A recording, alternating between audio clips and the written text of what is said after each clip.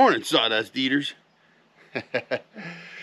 I was thinking about that last night. I've thought about it many times out on these jobs, you know. I'm running my mill, whether it's for myself or for someone else, I'm eating sawdust. And these things here, you know, they help with the big chunks. Yeah, they're not an N100 respirator. And there are times when I really should be wearing my N100 and I always forget to bring it. I wear it planing and doing all kinds of sanding and things in the in the uh, shop. But uh, I always forget to bring it out on these jobs and you know, so for anybody who's curious, it's not because I think it's cool not to wear one. it's honestly because I just forget to bring the dang thing.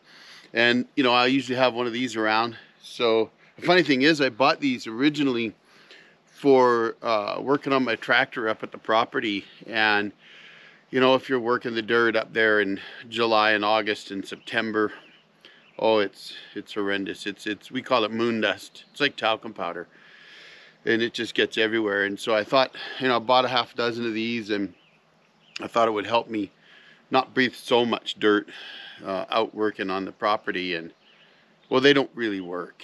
So they ended up being uh, kind of there if I needed them because I had no other options and most option I have no other options and so I wear them. But anyway, these kind of work a little bit, you know, they they keep the big chunks out. They, they kind of keep it down a little bit so I'm not blowing as much sawdust out of my nose. But back on track, the point of what I was saying is uh, I uh, often think about it, you know, there's smoke eaters. Well, guess what? There's sawdust eaters. Are you a sawdust eater? There's also people that have sawdust in their veins. And I'll tell you, if you're a sawyer, you're a sawdust eater and you got sawdust in your veins. Speaking of which, I've got to get my lube up done real quick this morning and get cracking and, and get back to work. So I'm gonna I'm gonna get back to getting this mill ready to go today. It's uh 6:30 in the morning. Beautiful, beautiful morning here. Gosh, it's gorgeous out here. It's awesome. Sun's just sitting up there, warming us up a little bit man, it's awesome. It's good to be out here. So if you ain't milling, well, I don't know. Maybe you're missing it. Maybe you're not. If you're waiting on a mill, I'm sorry to hear that. Uh, I did talk to Wood-Mizer. I stopped by Wood-Mizer just for fun, uh, which turned out to be more than just for fun for me. I, I ended up talking to James and getting some support. And thank you, James, for all your support. You're awesome. But I know they're just as frustrated as you are, probably maybe even more frustrated. In fact, I'm sure they're more frustrated than their customers are, honestly, because they've got all these customers and they can't get engines. So I know it's very frustrating for Wood-Mizer, and, and I just thought I would toss that in there, just something to think about. Meanwhile, let's get back to making sawdust. I want you to pay attention, and you're going to notice that I make a common mistake when milling from the big end. Now, you've probably heard me say in the past that I actually like to mill from the big end on big logs. But on the smaller stuff, I prefer the small end near me, partly because logs seem to cut better when you're cutting from the small end. However, on these remote milling jobs, the customer doesn't always have the logs in a position that you can always mill from one end or the other. Even when you advise customers on how to stack logs, the reality is if you're not there helping them, they're going to do the best they can. And I find that the vast majority of my customers do a great job of getting logs decked up for me they're just not always the way I would do it personally, and that's okay. And that's one of the challenges of being a remote sawyer is that you have to actually understand that the customer is going to do the best they can to get ready for you, and you can do your best to try to educate them on how to get ready. But folks, it is what it is. Sometimes it just doesn't work that way. Maybe they didn't quite understand, or they didn't have the room, or, or the tools or equipment in order to get the logs a certain way for you, especially when you prefer one end for one size log and the other end for the other size logs like I do. You know, I want the big end towards me on big logs so that I can make sure that I can clear the log when I go by rather than entering the log on the small end, getting two thirds of the way down or something and then running my guides right into the bark and having to stop, shim up the cap cut, try to get the head back and clear the obstruction with a chainsaw. So watch along as I mill this log and see if you see what I did and I'll talk about it a little bit later. I'm going to let this run. When I come back, I will explain what I did and how I fixed it. So see if you can catch my little mistake. it happens, folks, and I'll talk about it a little bit further down the road.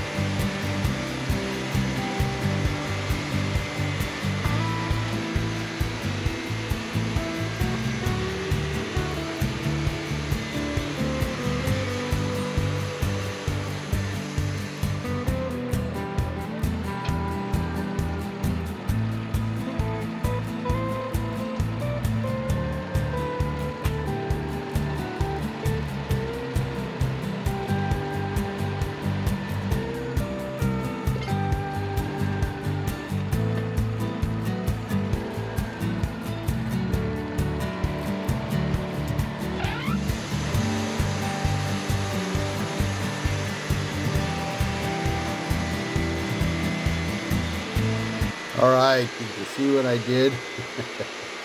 I rolled the log over, took the cap cut, but there's a little bit of a problem here. Yes, folks, I've done it again. I left the toe board roller up. Haven't quite noticed it yet, but I'm going to see it here in just a minute. I'm going ahead, I roll over the cant, and I get some bark under it. So I've got to go ahead, clean some bark out. I realized when I cleaned it out of the side there that I had some underneath, so I go ahead and lift it up. And I'll walk down and I'll clean the rest of it out. And right there I'm going, damn it! All right, push the cat back towards the head. I like it a little closer to me anyway. Set her back down. And I started to position the log. I was thinking I'd go ahead and mill that side. So I went down and I checked the other end, figured out what height I needed to go to, and I realized right about there that I ought to flip it back over again. There's a lot more wane on the other side. So I'm going to go ahead, flip it over, Make sure my toe board roller is down again. Thank you very much.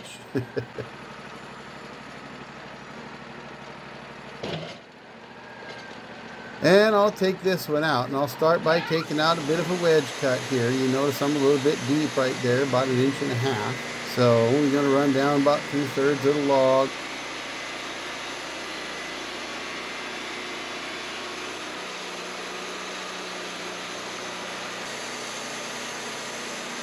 Come back, drop it again, and get all the way to the far end. Now that'll give me a flitch cut that we could just cut the far end off. We come right out to the end. Look at all that sawdust flying. That's because I was skimming off the top.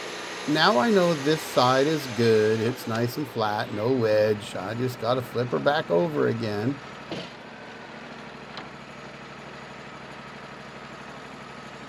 Once I got it flipped over, then I was able to go ahead and I can mill this side.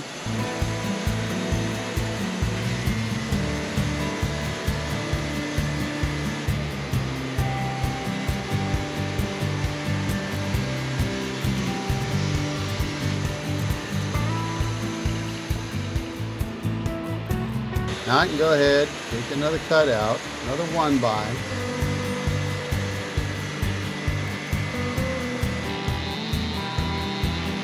Look at the sun coming off all that sawdust. It's a beautiful morning.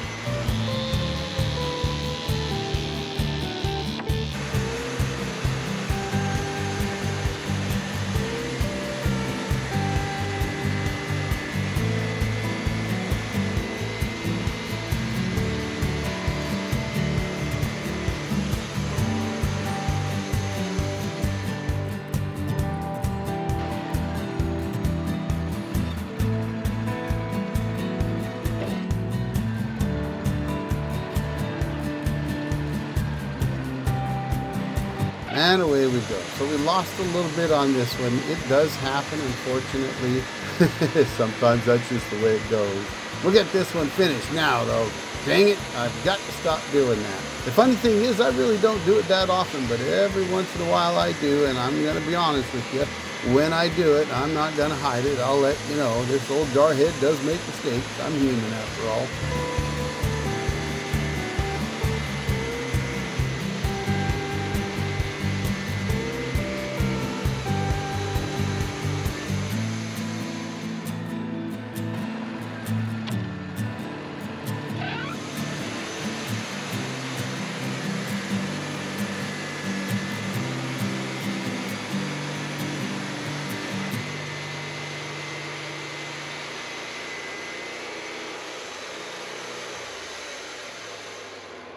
All right, we're getting it down to a point now that we can go ahead and get those off the deck and, and pull the flitches up so that we can mill those down. We'll get the flitches milled and then we'll be able to finish this one off.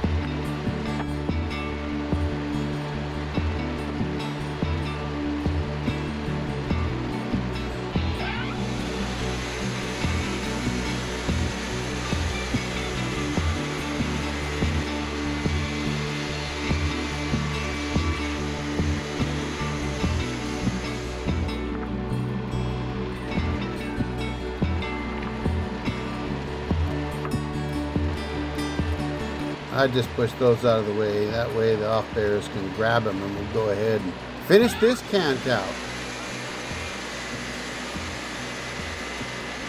So folks, it does happen. And if you want to see another video about doing this same thing and how I fixed it, a bigger problem, I'm going to drop that video right here. So go and watch that one and you can see what I did to fix this same problem previously. Thanks for watching. The old jarhead out.